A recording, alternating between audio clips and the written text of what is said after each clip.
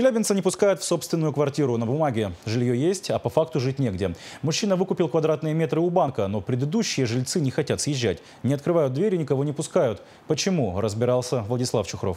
Справка ИГРН, по которой видно, что квартира принадлежит нам.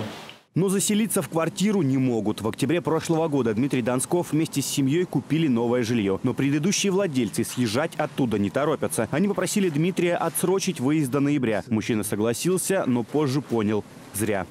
В конце ноября они попросили еще время, что мы не успеваем выйти на сделку. Где-то середина декабря, может к концу. Все, мы должны успеть э, выйти на сделку со своей квартиры и съехать.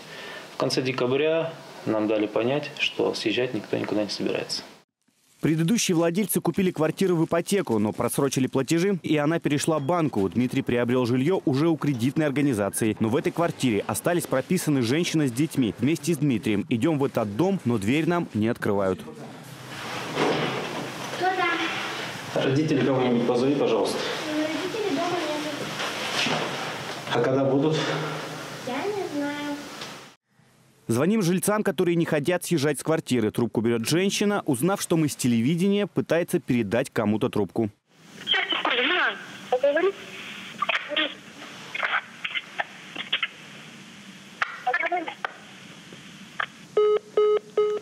Через минуту перезваниваем уже возле подъезда.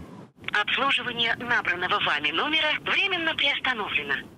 Еще в сентябре прошлого года суд обязал предыдущих жильцов съехать из этой квартиры, но выселить их оттуда не получается до сих пор. При этом все коммунальные платежи уже приходится оплачивать Дмитрию как законному владельцу. Но эти деньги он может вернуть обратно. Они могут предъявить убытки к взысканию, то есть если, например, они снимали квартиру в этот период, то есть это полностью будет вся сумма взыскана с тех, кто добровольно отказался покинуть квартиру. Конечно, если суд предоставляет отсрочку, то выселить не получится. Семья невыселенцев, по информации Дмитрия Донского, хочет отсрочить свой переезд до лета и обратиться с такой просьбой к судебным приставам. Там у них якобы работает родственник, и он поможет им остаться в квартире. А новому хозяину так и придется платить по чужим счетам в своей квартире. Владислав Чухров, Андрей Федотов, Александр Рязанцев, ОТВ.